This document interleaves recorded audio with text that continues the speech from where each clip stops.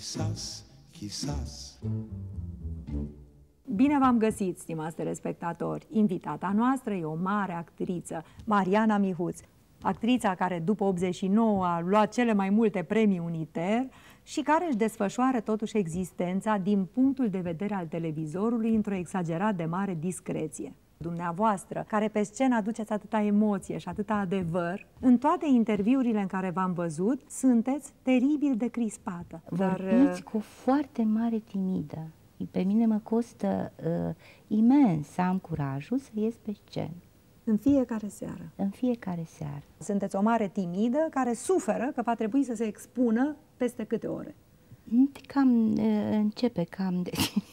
De când? Cam de dimineață. De dimineață începe. Da. Am văzut, spuneți undeva că dumneavoastră nici pe dumneavoastră vă nu vă cunoșteați la începuturile meseriei și că pe traseu, jucând mult, că ați jucat enorm și divers, ați început să vă descoperiți. Mi se pare un firesc. Eu nici acum nu cunosc foarte bine băiatul.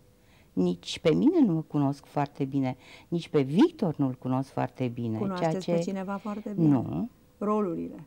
Rolurile... Personajele nu vi le cunoașteți foarte bine după ce le-ați nu. jucat? Nu, nu, pentru că din fericire la, uh, în teatru eu am posibilitatea de a îndrepta ceea ce nu mi-a plăcut înainte, ceea ce n-a ieșit bine la un spectacol, la celălalt spectacol, Poți eu să pot, îndrepti. pot să îndrept, este perfectibil. De asta cred că instinctiv eu n-am făcut atâta film. Aș fi putut juca mult mai multe roluri în film. Nu foarte multe din ele nu m-au interesat.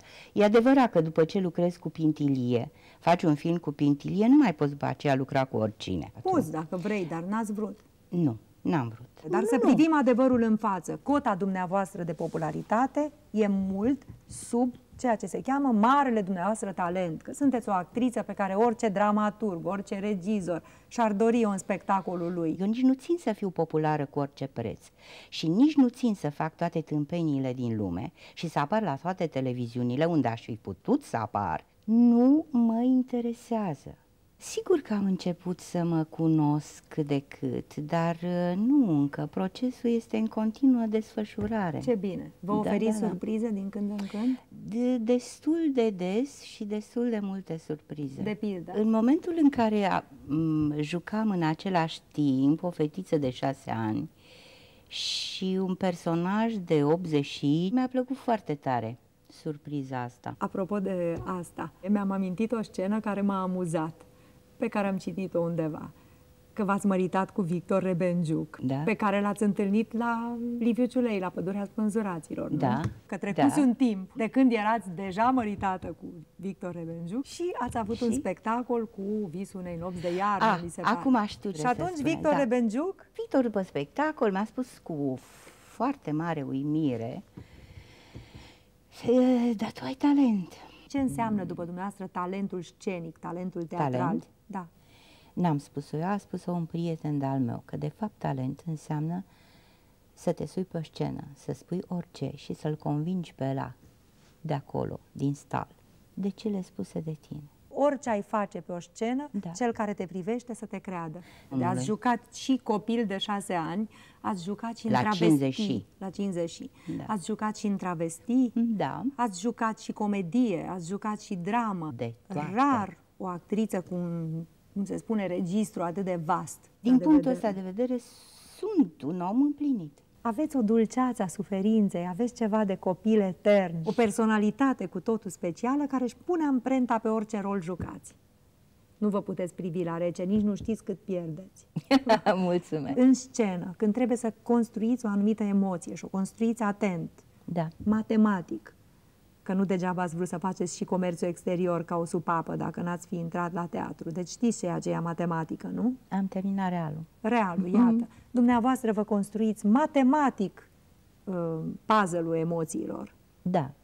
Împreună cu regizorul, evident, împreună și cu regizorul, parteneri. dar emoția din scenă e o emoție care se hrănește și din emoția biografică? Din mine se hrănește, din emoțiile mele personale, din emoțiile mele închipuite. Dar e bine să se nască emoția adevărată și autentică, pentru că mie personal numai asta mă, mă, mă bucură. Teatru se mănâncă totuși și cu puțină nebunie, nu? Și cu puțin mister sau mult mister și cu altceva decât în ordinea cotidiană și prozaică Sigur. a lucrurilor. Da, nu știu câți, e, probabil că e un metru și jumătate, nu? Scena, cam atât de înaltă e scena. La podul Un- izvor. la că la podul- grădina icoanei e, la podul e mai izvor, jos. Da. Înălțimea asta face diferența între viața de zi cu zi și uh, vraja de pe scenă. Eu stau în scenă cât se repetă un spectacol, numai atâta timp cât am uh, de jucat. În rest, la repetițiile care mă interesează, cu regizorii mari l- cu care am lucrat, Stați în sală. stau în sală. Mă ajută teribil de mult, învăț enorm.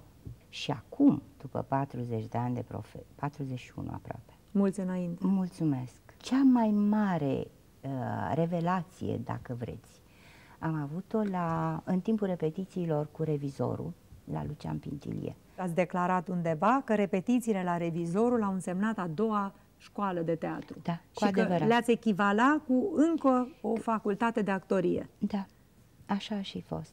Interzicerea acestui spectacol, pentru mine personal, a fost o catastrofă. O actriță de 30 de ani, care avea deja la activ câteva succese, îl Uh. întâlnește pe Lucian Pintilie. Descrieți în prima întâlnire cu Pintilie. M-am întâlnit cu uh, Lucian la teatru. Venisem uh, să-l iau pe Victor de la un spectacol sau o repetiție și Lucian era acolo. Dar înainte eu jucasem la televiziune Idioata de Marcel Așar și Lucian văzuse spectacolul de televiziune și mi-a făcut un uh, compliment.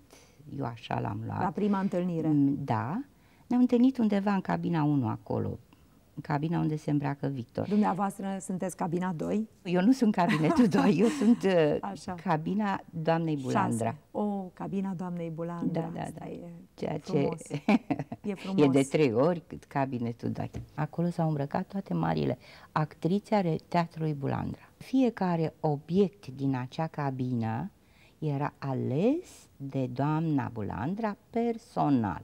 Fiecare scăunel, fiecare bă, lucru de acolo era ales de ea. Din păcate, și o spun cu o durere imensă, această cabină nu mai există. A fost uh, desfințată. De ce? Dumneavoastră unde erați? Eram toată lumea acolo, am și spus, dar nu ne-a luat nimeni în seamă. Aceea trebuia să rămână, după părerea mea, cabina Bulandra. O oază de istorie. Sigur, Și? acum este o cabină curată cu niște oglinzi, o cabină obișnuită. Nu mai are absolut nimic din, uh, Savoarea din ce avusese. autenticității. Plus că are tot soiul de inconveniente, pentru că doamna Bulandra știa de ce a dublat ușa aceea, de ce a capitonat ușa, ca să nu se audă toate mizeriile. coridor. alea. De ce ușa era uh, închisă perfect? Ca Și să acum intre nu mai fum. este? Nu. Este gălăgie, intră fumul pe sub ușă, ușile alea nu se închid. Este o nenorocire. Arhitectul care a făcut aceste schimbări nu a ținut cont de nimic. A spus, eu fac curat în acest teatru. A. Și a făcut curat și în cabina doamnei Bulandra. Nu, asta e un lucru care poate fi citit și în altă cheie. Așa se întâmplă în România, în Da. mai multe zone, lucruri bune sunt distruse. Peste o casă memorială se trece cu buldozerul ca și cum ai, ai desfința o, o, un act de cultură. Nu știu, eu cred că s-a făcut aici o, o, O barbarie. da, chiar o barbarie. Și acel arhitect mai există în teatru? Nu, există După ce a în refăcut alte, teatru, a în plecat? alte teatre, da, s-a dus să de- facă curat și în alte teatre. de vreme ce păstrezi numele doamnei Bulandra, care a creat acest teatru, te folosești de numele ei Te folosești de teatru ei? și de teatru. Mai sunt vreo doi dinozauri care încă mai respiră și mai chiar mai joacă acolo. Dinozauri de pe vremea doamnei Bulandra. Dinozauri, da. Și care? De fapt, unul singur mai. Cine? Victor. A, Victor Rebenjuc a ajuns ultimul supraviețuitor din Da, teatru care a de pe, jucat cu doamna cu doamna Bulandra. Bulandra. Da. Știu că atunci când a plecat din teatru, Clodi Bertola v-a lăsat trusa ei de machiaj. În momentul în care s-a hotărât să iasă la pensie, mi-a trimis trusa de machiaj. Cu toate smacurile acolo? Da, da, și cu niște bijuterii vechi și cu, adică bijuterii care jucaseră în spectacol. Eu o, o păstrez în continuare. E ca un cufăr foarte frumos cu un uh, batic turcesc așa mm, deasupra. Motivul este de batic turcesc și are o formă foarte, foarte frumoasă, are piele și piele și stofă. E ceva foarte frumos și foarte vechi. Țin acolo lucrurile cele mai uh, dragi mie lucrurile de valoare, care au valoare pentru mine. Deschidem acum cufărul Deschidem ăsta. ce păstrez eu acum acolo. Mai am Asta, încă dacă de le-am la... scoate pe masă, asta spune Da. mult despre Ar dumneavoastră. fi un colier cu ștrasuri, adică ceva care se poartă în, în teatru. O pereche de cercei și pe lângă m, care am mai pus și eu de ale lucruri pe care le-am primit de la mama, lucruri vechi pe care le-am uh, moștenire de la bunica mea. De la bunica ce aveți în cufăr? Am un medalion, un- un fel de medalion, este ceva din, uh, din aur și smaralde. L-am primit în momentul în care m-am căsătorit. Atunci am meritat să am uh, un lucru de preț. O bijuterie de O familie care, bijuterie de- pe de care bunica familie. oare de unde o avea dacă facem? A, da, bu- foarte, foarte veche, de la mama mamei ei. Nu l-am purtat niciodată. Niciodată? Nu, de ce? pentru că mi s-a părut că niciodată nu am rochia aceea care ar merita acest colier. Am văzut în cartea Ludmilei Patlanjoglu cu Clodi Bertola, Da. La Via în Ros cu Clodi Da. Bertola, am văzut ce spune despre dumneavoastră Clodi Bertola, că aveți pasionalitatea și uh, forța unei actrițe rusoaice. Mhm. Pe urmă, când v-am văzut fișa biografică, am spus, uh, ia uite, domnule, Mariana Mihuț e născută la 7 noiembrie, hai la lupta cea mare, sculați voi o ropsiță ai Eu- vieții. da, este o Așa, 7 coincidență. noiembrie, 7 la noiembrie. Chișinău. Și pe urmă ați copilărit pe malurile Dunării. Bunica e de acolo, de la Chișinău? Da. Și era rusoaică? Nu, nu. Dar ceva sânge rusesc cred că avea ceva un, uh, un rus în familie, pentru că bunica vorbea rusește. Era născută în Chișinău, dintr-o familie de... De oameni simpli, modești, nu știu, străbunicii mei erau, uh, nu știu ce aveau, aveau o fabricuță ceva. Ei, atunci nu erau chiar așa de modești. Da. Dezvoltați un pic scenariul ăsta de film rusesc. Părinții mei s-au căsătorit de foarte tineri, s-au mutat în București, unde tatăl meu avea uh, servici. Ce El mi-a- servici? A terminat Academia Comercială. Numai că a venit războiul, uh, eu eram deja pe drum, tata a fost, a plecat pe front, a căzut prizonier și atunci mama s-a dus să nască la Chișinău, Acasă la părinți. la casă la părinți. Și mi-am cunoscut tatăl după 9 ani de zile, aveam 9 ani și ceva, când tata s-a întors din uh, prizonierat. Deci faceți parte dintre copiii născuți în plin război și Da. care au simțit indirect peste ani Da, uh, binefacerile, în ghilimele, ale războiului. Mi-am cunoscut tată la 9 la ani. 9 ani și jumătate. Secvența asta apare în multe filme, în multe povești, în multe biografii Din păcate. din epocă. Da. Copii care își cunosc tatăl târziu, pentru că tatăl vine Da. de la pușcărie sau, cum venea la dumneavoastră, din prizonierat. Uh, Din acel prizonierat în Rusia, tata s-a întors comunist, Nu. Tatăl meu a refuzat să vină cu divizia Tudor Vladimirescu sau ce mai știu că au mai fost și alte divizii care uh, avea posibilitatea să vină mai devreme, dar uh, ar fi însemnat să vină comunist. A refuzat să vină cu aceste divizii uh, De români reeducați de român și reeducat, de pentru că mi-a propagandă. spus că el a jurat odată pentru țară și rege și nu poate să-și calce acest jurământ. Și a f- venit printre ultimii, dacă nu chiar cu ultimul uh, transport. prima întâlnire cu tata, dacă ar fi să o descrieți pentru un scenarist sau pentru un regizor, de la Lucrurile noi. sunt atât de grave, cu niște urmări uh,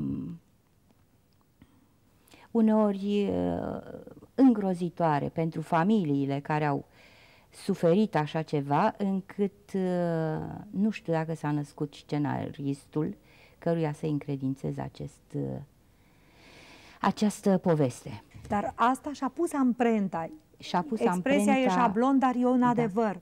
Este ceva care nu că nu se uită, pe care vrei să-l uiți și nu poți. Aș vrea să nu fi trăit, Să nu fi trăit asta. să nu fi trăit. Dar dumneavoastră v-ați extras din conul de nenoroc al familiei Ni s-au schimbat destinele. Eu port un alt nume, am fost înfiată de celălalt tată al meu, uh, port un alt nume mm, și așa mai departe. tata, când l-ați întâlnit, deci la 9 ani și jumătate, știați că e tatăl dumneavoastră. Sigur că da. Atunci am aflat că tata va venit, uh, e în țară și că uh, va urma să-l... Eu mă rugam în fiecare seară, mă rugam pentru sănătatea tatălui meu și a... Știați că trăiește? Nu știam la un moment dat dacă mai trăiește, dar după aceea am aflat că trăiește. Mama v-a cultivat o imagine idealizată a tatălui? Exact, și mama și bunica. De fapt, bunica era mama familiei, ea ducea, purta răspunderea, Mama era mai Lipsa. mult ca o soră, așa? mai mult ca o soră, da, din parte tânără și copilăroasă și bunica era cea care și-a, s-a înhămat la această răspundere, De a vă crește. dar ne crește pe amândouă. Pe mama și pe dumneavoastră. mama și și bunicul pe- exista? Nu, bunicul Dispăruse. a dispărut și el pe front, cred că a murit undeva unde nu se știe. Începuse războiul Și, și, v-ați născut, deci, la 7 noiembrie la Chișinău și în câtă vreme și-a strâns calabalâcul familia, femeile familiei, că bă, femeile bunicul familiei, nu mai da, era, da, și-au da, strâns da. calabalâcul și-au... Și-au, s-au refugiat, s-au refugiat. În, uh, în România, la turnul la Severin. turnul Severin. Prima clasă primară, acolo am început-o. Și în fiecare seară vă rugați pentru tata? Da, La ce În, vârstă ați uh, încetat să vă rugați pentru tata? în momentul în care a murit, acum mai pun lumânări. Și cum l-ați descoperit ca personaj viu pe un om pe care l-aveați numai în imaginație? A apărut un cineva pe care de fapt îmi era foarte drag și foarte apropiat eh, și cu care de fapt trebuia să mă acom, să, să îl accept că este tatăl meu. Și care era un necunoscut? Nu pot, era un tot, da, un necunoscut. Din fericire era un necunoscut foarte blând, foarte inteligent, foarte bun. Semăna tata cel pe care l-ați descoperit atunci Da, săracul, semăna, pentru că eu aveam pozele lui. Mama păstrase, bunica la fel, având, mi-arătau pozele lui. Știam uh, cum arăta tata în tinerețe. Uh, eu îi semăn lui foarte tare. De fapt, am stat foarte puțin cu tata, pentru că nu se putea să mai stăm împreună. Pentru că mama se Părinții mei, recăsătorise, da. nu? A avut alți copii mama cu noul soț? Nu, nu, numai pe mine. Și de la ce vârstă v-a crescut soțul mamei? Șapte, opt ani, Ah, cam așa. deci relativ târziu. Da. Practic, uh, nu i-ați spus niciodată tată, nu? Ba da, ba da, am spus tată pentru că uh, pe la 11 ani, 12 ani am fost înfiată și port numele și în ziua de azi. L-ați iubit pe noul tată? Mm, nu ca, nu ca pe tatăl meu adevărat, dar am ținut foarte mult și l-am, uh, l-am respectat. Deci Am totuși, meritat lucrul ăsta pentru că ne-a salvat pur și simplu pe mine, pe mama și pe bunica dintr-o situație disperată. Trebuia să fim deportate în Bărăgan și pur și simplu a venit într-o noapte și ne-a luat pe sus și ne-a dus la Râmnicu Vâlcea. trebuia să fiți deportate în Da. Bărăgan. Da. De ce? Ca refugiați din uh, Da, de cum la au fost, Chișinău? au fost foarte mulți uh, deportați și deportați atunci, în anul acela. Tatăl adoptiv trăiește? Nu, nici el, din păcate, nu mai trăiește. Toți au fost oameni foarte cum se cade, niște oameni em, pentru mine unici. Un copil ca dumneavoastră care crește Eu cred că toți copiii de vârsta mea, copiii în ghilimele de Ați vârsta mea, rămas și acum un copil mare. Uh, toți au fost marcați de perioada asta, mai mult sau mai mai puțin. Eu nu cred că vreunul din copiii născuți în 42, odată cu mine, au scăpat de, de vreuna din, din marile bucurii ale acestei perioade. Bucurii tot în ghilimele. Sau nu, au... Am întâlnit și oameni care au copilărit atunci, în plin război, sub bombardamente și au spus și spun și acum că au avut o copilărie fericit. fericită. E, sigur că da. Se poate. Se poate, da, da. Și copilăria mea a fost foarte fericită. Eram, eram fericită mm, pentru că nu știam, de fapt, că se poate trăi și altfel. Eu eram foarte fericită, mă jucam și eram fericită, mă dădeam cu trotineta pe strada mare în Râmnicu Vâlcea și eram un copil fericit. N-aveam, abia acum realizez. În nu numai aceea. acum realizați. Totuși, bănuiesc că v-a durut și atunci. M-a durut când m-am despărțit uh, de tatăl meu, m-a durut foarte tare când a trebuit să aleg între mama și tata, m-a durut, m-a durut. La un moment dat mi-era groază că se va descoperi că am fost înfiată, am fost înfiată ca să pot să dau la facultate să am un dosar ca lumea. Uh, se va descoperi că sunt născută acolo, că toate lucrurile astea uh, nu sunt un dosar foarte bun pentru facultate. Au fost problemele părinților mei. Atunci, la 11-12 ani, era problema lor. Ei o discutau ce să facem ca să reușească copilul ăsta în viață, la facultate. Erau probleme de, de viață și de moarte, de, de, de existență. Inimaginabile Atunci, pentru un tânăr de astăzi. Inimaginabile, da. Și atunci a trebuit să... Cred că asta a fost o lovitură în plus pentru tatăl meu, faptul că nu i-a mai purtat numele.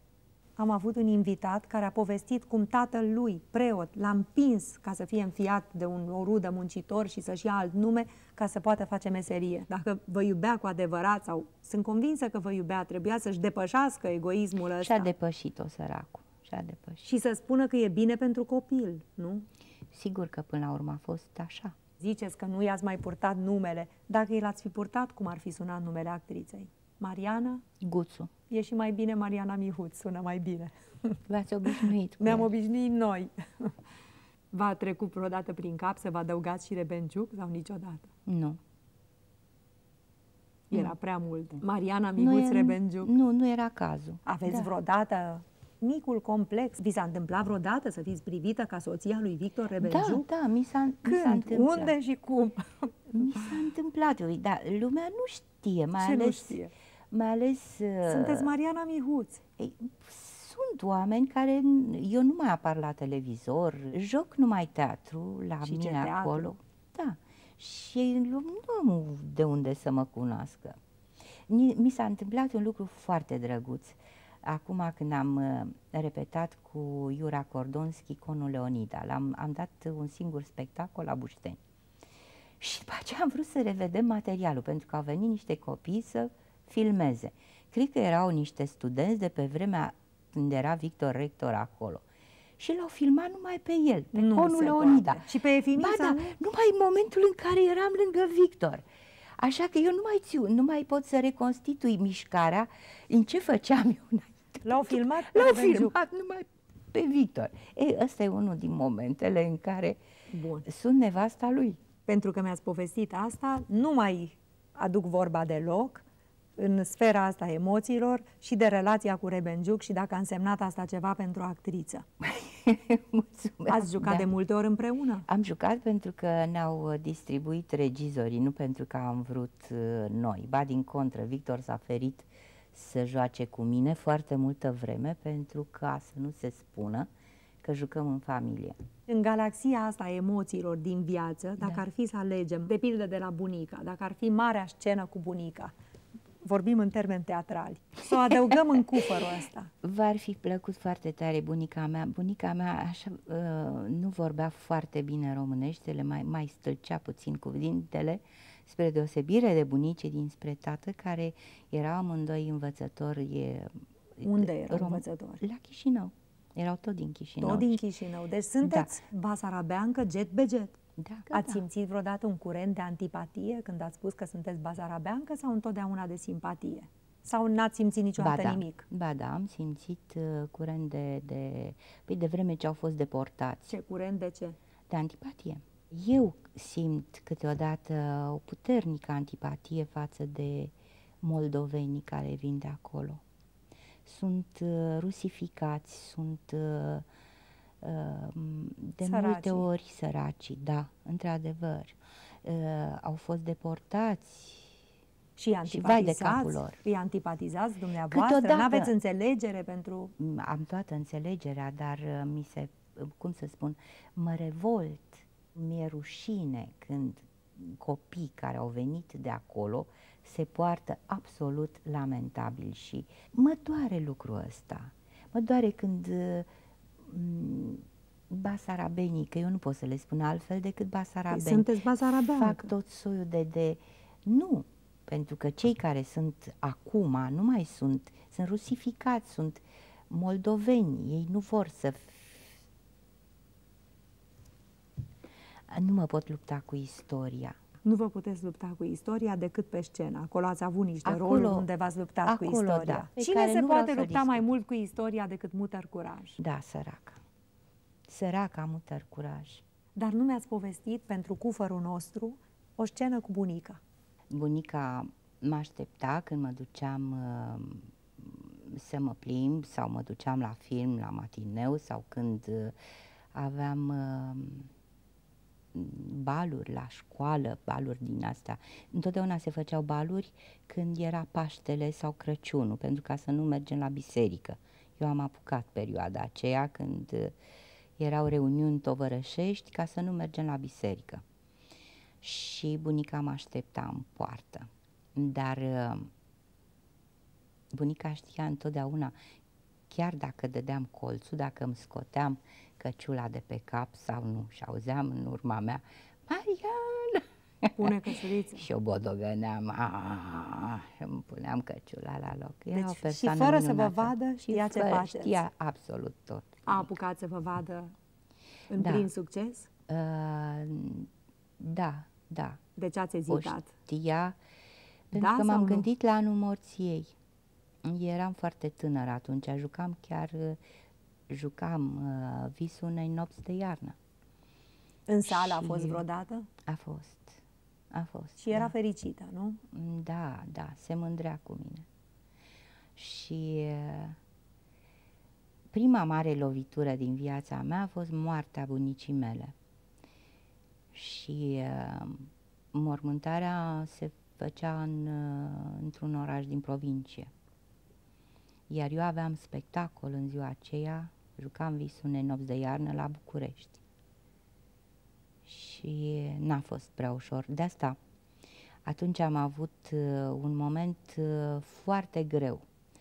Atunci uh, știu că îmi luam rămas bun de la bunica, era în biserică și nu era multă lume, dar erau două doamne, că nu pot să le spun altfel, care se, se holbau pur și simplu la mine. Voiau să vadă cum suferă o actriță, că într-un oraș de provincie toată lumea știe cam tot despre ceilalți și pur și simplu se uitau la mine să vadă cum suferă tânăra actriță când uh, îi moare bunica.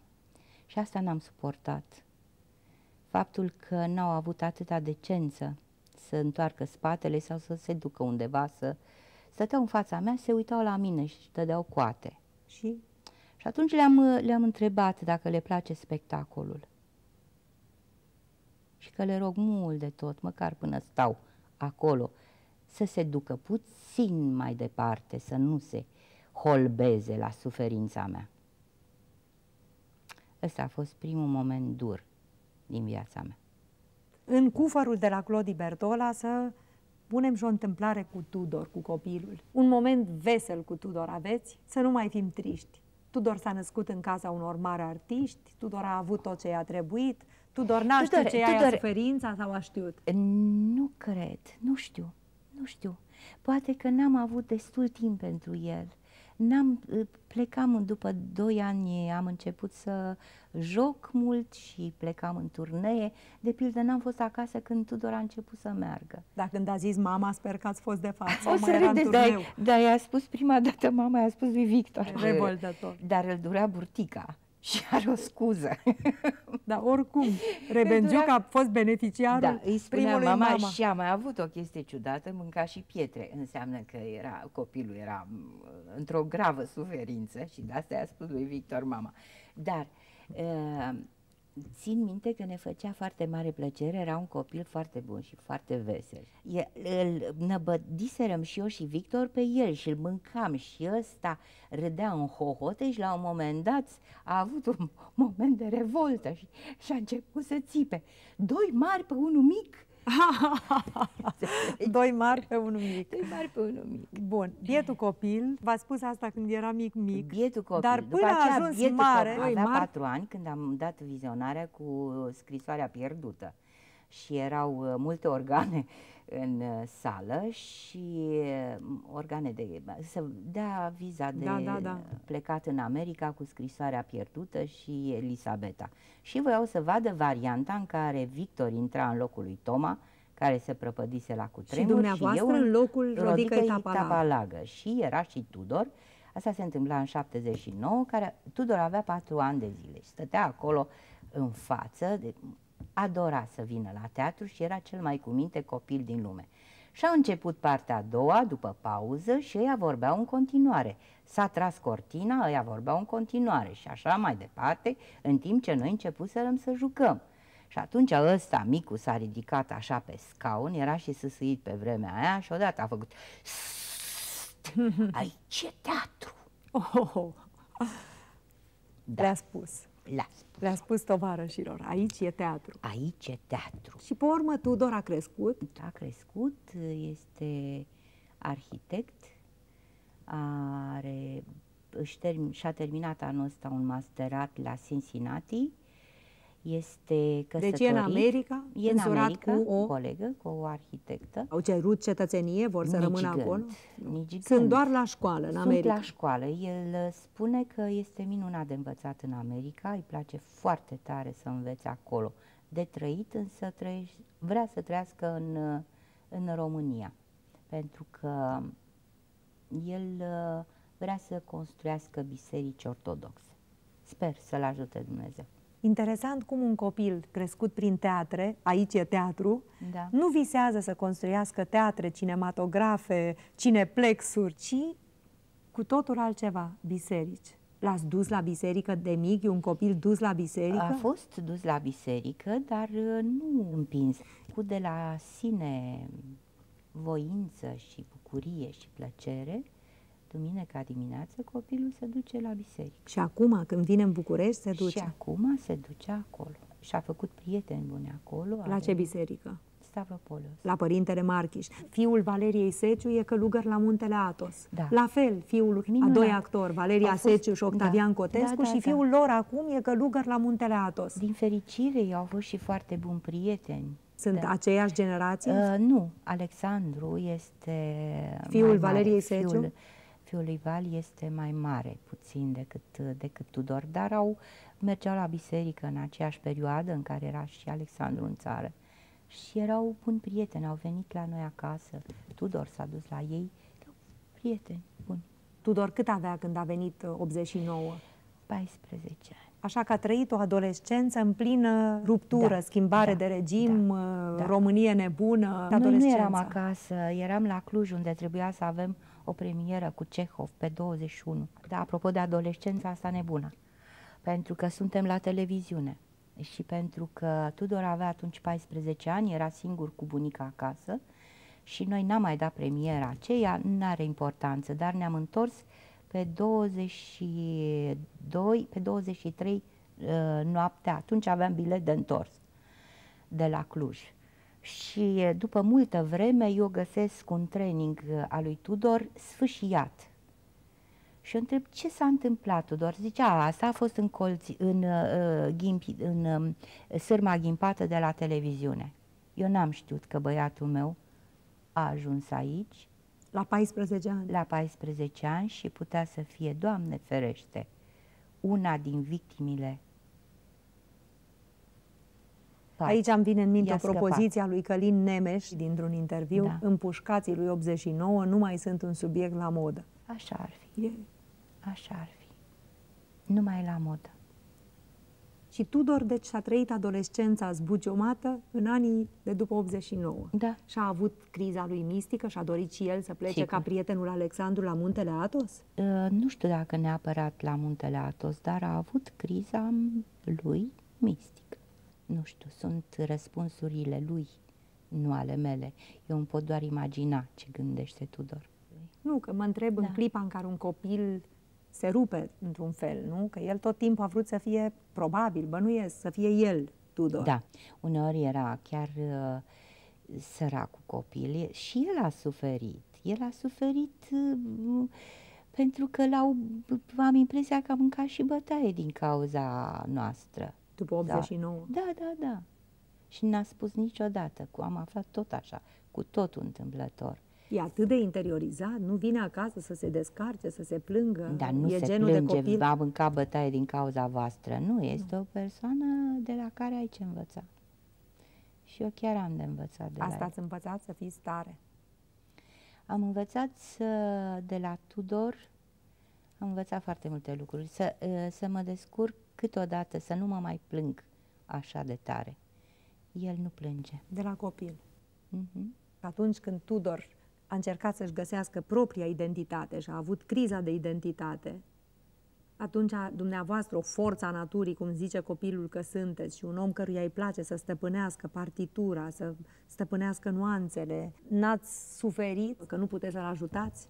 Nu-l simțeați ca pe un cosmonaut pierdut în cosmos? Ba da, cum să nu? Cordonul ăsta umbilical s-a, se tot taie într-una. De, se, de, de fapt, nu se taie o singură dată. Se taie de mai multe ori, din păcate, pentru mamă. De fiecare dată simt că am mai, s-a mai tăiat încă, s-a mai depărtat, s-a mai... Cu faza America e tăiat cordonul? Sigur că nu, nu, nu, niciodată, de fapt, cred că niciodată nu poți să-l tai definitiv. În clipa de față, ca mamă, sunteți mai mulțumită că îl știți pe Tudor în America, însurat, arhitect, visând să vină în România să facă biserici, decât dacă l-ați fi știut călugăr la muntele Atos? Da, sunt uh, egoistă și mă bucur că băiatul meu e în America, e însurat și face o profesie care îi face plăcere. Sper să și reușească. Bine, și toți Să cei care ferească sunt la muntele Dumnezeu. Atos sunt din vocație și Sigur sunt că da. fericiți că sunt Să acolo. ferească Dumnezeu să-mi pară rău că n-a ajuns pe muntele Atos. Pentru că, pentru că orice om se poate rata. Asta a fost și obsesia dumneavoastră de la început, că vă puteți rata și că nu A aveți mea? dreptul să vă ratați? Nu. Nu? Nu. Problema Nu. asta a ratării Problema- e ciudat că o puneți pe Da. băiat și pe dumneavoastră ziceți că n-ați spus-o niciodată? Nu. Nu v-a Se- fost frică de ratare niciodată? Nu. De pildă, v-ați dus la institut, știu, și la prima prezentare acolo, Alexandru Ființii, care era pe vremea aceea, Da, un regizor bun, destul de bun și un profesor foarte bun. da. așa, a spus așa, citez, despre dumneavoastră. E neinteresantă, timidă și prea grasă. Nu eram deloc prea grasă. Între timp am fost uh, chemată la altă clasă, la Moruzan și la Cojar, care m-au luat la ei la clasă pentru că lor le-am spus ceva. La clasa am, de pregătire. La clasa de pregătire și am continuat să mă pregătesc la ei. N-am ș- Aripa asta a nesiguranței, frica ratării, niciodată nu v-a încercat. mi era frică că n-am să pot să fiu foarte bine, cum îmi doream, dar ratare, să nu reușești într-o profesie, Să duci tava, să zicem, să ar fi nu, fost da. ratare, în loc să joci marile să roluri nu pe ai care le-ați talent. jucat. Eu simțeam că am talent, simțeam că pot să spun ceva pe scenă. Mă uitam la actorii care jucau și plină de admirație și plină de respect, Ziceam? spunea, ziceam, pot și eu și câteodată pot chiar mai bine. Mai bine. Și ați depășit handicapurile, timiditatea, care Da. există și acum. Da. Chestia cu prea grasă, ați depășit-o întotdeauna? Acum mai există problema asta. Luptați cu asta? O zi da, o zi nu. A, n-aveți consecvență. Nu. Dar în scenă vă incomodează vreodată? Ați fi Nu. dorit să fiți în Nu, scenă știți ce vreodată s-a întâmplat? scheletică? Întotdeauna, toată viața mi-am dorit să fiu scheletică. Toată viața am, am visat să fiu rugată, să mănânc, să mai pun ceva kilograme. Asta am visat toată viața. Dar, să vă spun Dar ce nu v-a se- rugat nimeni. Nu. nu. Ba da, mi s-a întâmplat odată bunica mea. Mi-a făcut niște injecții pentru că era frică că de slabă ce sunt, nu o să mă, mă placă nimeni. Și da. credeți că au avut niște consecințe? Sau no, nu, nici gând. Dar ce am descoperit cu, cu, odată cu vârsta și cu schimbarea numărului la haine, cu faptul că m-am, mi-am schimbat uh, dimensiunile, pentru mine a însemnat o nouă experiență în teatru. Eu am jucat niște roluri acum, în ultimul timp, absolut minunate. Am jucat ce nu, ce nu credeam vreodată că am să joc. Pentru că farmecul și prezența scenică a unei actrițe nu înseamnă numărul de kilograme, nu? Dacă mai și arată extraordinar, sigur că mi-ar Dar asta dori nu să înseamnă fiu. mai nimic. Da, pe dar scenă. uite, n-aș fi putut să joc Mutăr Curaj sau n-aș fi putut să joc Vizita Bătrânei Doamne sau uh, femeia nebună din uh, O Batistă în Dunăre. Nu știu. Odată cu, cu vârsta au venit și alte roluri și alte... au venit firesc. Sunteți dintre puținele actrițe norocoase, pentru că au știut să ia foarte firesc, cum ați zis, virajele vârstei și să joace mereu roluri mari în diverse faze ale evoluției lor. Da. Pentru că sunt actrițe care au momentul de strălucire în tinerețe și pe urmă intră într-un cont de umbră până târziu, Mhm. sau actrițe care mai târziu fac ceea ce se cheamă Da. o carieră, pentru că la dumneavoastră a fost constant. Da, uh, am avut uh, norocul ăsta chior. Când ați realizat prima oară că în cufărul pe care nu-l primiserăți încă, Da. aveți bagheta asta magică pentru care nu aveți niciun merit, pentru că cu asta v-ați născut? Sau aveți merit? Mm, Aveți merit pro- că nu v-ați bătut joc de ea. Nu mi-am bătut joc de, de, de cadou ăsta. Nu pot să, uh, aveam la școală tot soiul de spectacole în care... La liceu? La liceu. Ideea de a da la teatru vă venise cu mult timp înainte. De mică. În momentul în care e, mă uitam la televizor, spuneam că vreau să joc teatru. Vreau ca doamnele acelea de acolo. Copilul Tudor s-a născut cu darul ăsta? Nu știu, cred că i-a fost teamă să încerce. A văzut cât de tare ne chinuim la urma urmei. Noi. Cu ce vă chinuiți?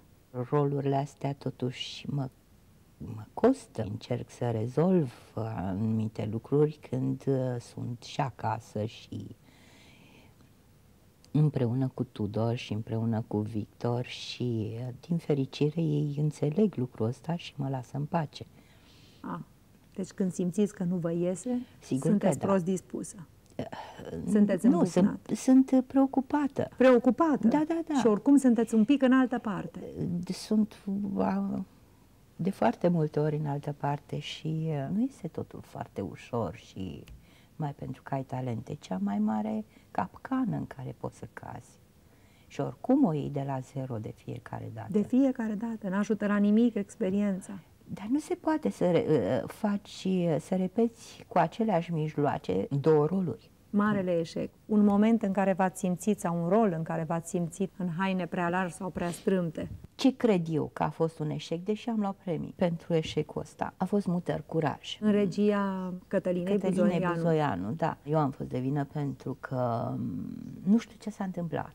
Avea, cum e un, o mâncare în care pui toate lucrurile absolut extraordinare, excelente și nu iese bine. Mie nu mi-a ieșit rolul acela, din păcate.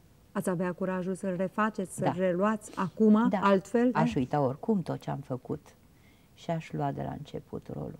Abia acum l-aș, cred că l-aș face bine. Sunteți o mare muncitoare, totuși. Vă Îmi place, place. nu? Vă place. Îmi place profesia asta. E cel mai frumos chin din lume. Spuneți-mi, din tot ce s-a rostit în teatru, o replică pe care o iubiți în special, care ar fi? Nu, îmi pare foarte rău că uh, aia pe care o iubesc eu în mod special, uh, i-am uitat începutul. Dar spuneți Ca dovadă că sfârșitul. vine o vârstă. Nu. Se sfârșește așa replica și este din Cehov. Uh, Din ce e- piesă? Din uh, Pescărușul. Și vorbiți de Arcadina, actrița triumfătoare, Nu, actrița nu, nu, în este- culmea carierei? Este, sau este replica Ninei. Nina, Zai- tânăra aspirantă la glorie? Da, după ce, după ce primește marile lovituri și vine și spune, nu știu, nu, important nu este cu tare, important nu e important, importantă este puterea noastră de a îndura. Dacă ar fi să invitați la o masă rotundă ca asta a noastră, mm. într-un paradis al actorilor, câteva actrițe ale lumii, care ar fi? Liv Ullman. Liv Ullman. Clodi Bertola. Gina Patrici. Mai multe. Mai spuneți Ingrid Bergman. Mi-ar face mare plăcere. Și la actori aveți voie un singur actor? Pe cine Unul ați singur? Invita? Da. Unul singur e Da, nedrept. pe cine ați invita? Pe cine aș invita? Da. La vârsta mea de acum? În paradis nu există vârste, doamna Mariana Mihuț. Nu s-a născut încă ăla. nu s-a născut încă ăla? Nu, pe fiecare am iubit, dar nu foarte, foarte tare. Ia- L-am iubit pe Redford la un moment dat, dar nu foarte tare, așa să zici că l-aș invita numai pe el. Nu. Până la urmă tot pe, pe Victor. Este însă un actor cu care, un partener cu care eu aș juca oricând, m-aș duce puțin în paradis să joc cu el. Petrică Gheorghiu, cel mai extraordinar partener al meu. Și cu George. George Constantin. Și George Petrică Conza- Gheorghiu, Petrică un mare Gheorghiu. actor, Mare, foarte mare dar actor. și la el cota de popularitate a Da. fost nedrept de joasă da, față da, de Da, da, da, talent. da. În micii burghezi stăteam cu el o jumătate de oră pe o canapea, tăceam când vroiam, făceam pauzele aiurea, tot ne, nestabilite dinainte și nu sufla lumea. În fiecare seară da. Da. așezați din nou prima oară pe acea canapea? Da, da, da. Și uh, avea o bucurie absolut extraordinară pentru că totul se năștea atunci acolo, nimic nu era dinainte stabilit. Privită din afară cariera dumneavoastră, e o îmbinare de impetuozitate și luciditate teribilă. Ați spus că totdeauna ați făcut numai ceva plăcut, cu excepția unui spectacol propagandistic. Ăla în ce an se întâmpla? 1870 și nu, nu știu, 1970. și- am glumit. A, Ați glumit? Eu am crezut că vorbiți serios. Bun. Nu, nu, nu. Deci Era ceva, spectacolul nu știu ăla, ce făceați aniversare acolo? că a partidului, nu știu cât, 40 de metri lungime de unde eram o utecistă.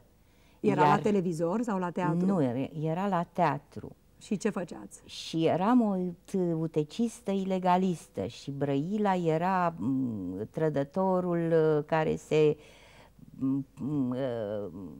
cum se cheamă asta, se furișa în celula noastră de UTC și îl trăda pe iubitul meu și, care... și regizorul? Regizorul era Dinu Cernescu și Oh. oh. ni s-a întâmplat o nenorocire și mie și lui Brăila, pentru că la premieră intram eu pe la un arlechin, Brăila pe la celălalt arlechin. Dumneavoastră și dușmanul de clasă față Dușmanul în față. de, dar eu nu știam că e dușmanul de trădătorul celulei de UTC. Și mă anunța, trădătorul mă anunța că a căzut toată celula și eu trebuia să spun când, cum. Și el spunea, da, iar Andrei, Andrei era iubitul meu, utecistul, a? iar Andrei a murit. Pe cine îl juca? Făceam eu, nu se poate. Uh, Pe Andrei îl juca, cred, Dumitraș. Deci, eu intram, reflector pe mine, intra Brăila, reflector pe Brăila și Brăila spunea, a căzut toată celula, celula de UTC. și eu trebuia să spun, când, cum? Iar la asta, când spuneam când, cum, mă pufnea un râs dement. Dar și pe Brăila. Sabotați spectacolul. Și pe Brăila. Și când spunea Andrei e mort, alt hoho de râs, de drept care eu intram cu spatele în reflectorul de lumină. Brăila își pusese și o pălărie în borsalii și cu gulerul ridicat și spunea așa, nici nu se mai uita la mine. A căzut toată celula.